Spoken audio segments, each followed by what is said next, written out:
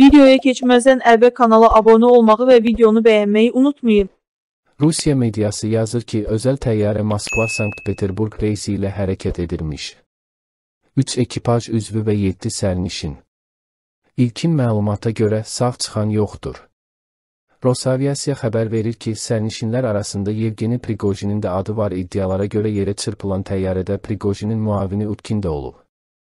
Qeyd edək ki, bir müddət əvvəl Prigojin Kremlə üsyan elan edəndə Moskvaya gedən Agner kolonuna Dmitri Utkin rəhbərlik edirdi.